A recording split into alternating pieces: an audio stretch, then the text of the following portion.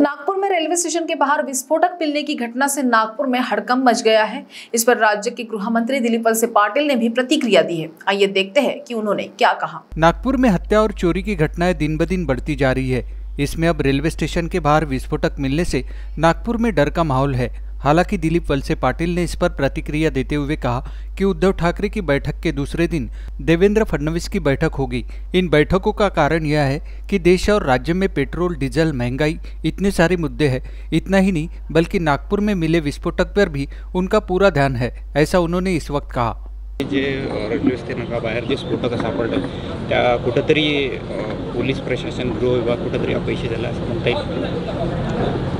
असं तर काही म्हणता येणार नाही कारण शेवटी जे स्फोटकं किंवा जे ज्वालाग्राही पदार्थ सापडले ते पोलिसांनीच त्याच्यामध्ये शोधून काढलेले आहे आणि पोलिसांचं संपूर्ण परिस्थितीवर लक्ष आहे. सर काल चंद्रकांत पाटील एक स्टेटमेंट दिलेलं आहे की त्यांची सभा दुसऱ्या दिवशी होणार काय आता असं आहे की राज्याच्या समोर अनेक महत्त्वाचे प्रश्न आहेत आणि देशाच्या समोर पण अनेक महत्त्वाचे प्रश्न आहेत.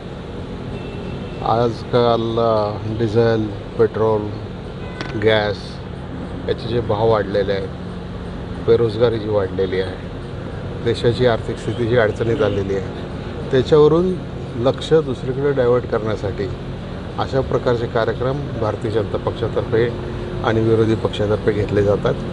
त्यामुळे त्याला काही फार गांभीर्यानं पाहायची गरज आहे असं अशातला भाग नाही. हा एक राजकारणाचा भाग आहे.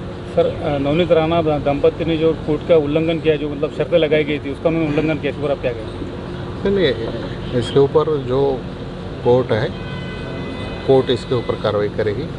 इसमें गवर्नमेंट को कार्रवाई करने के लिए कुछ नहीं है या प्रकरणी गृह सचिवांना काही नोटीस वगैरे आलेली? माझ्या माहितीप्रमाणे तरी नाही.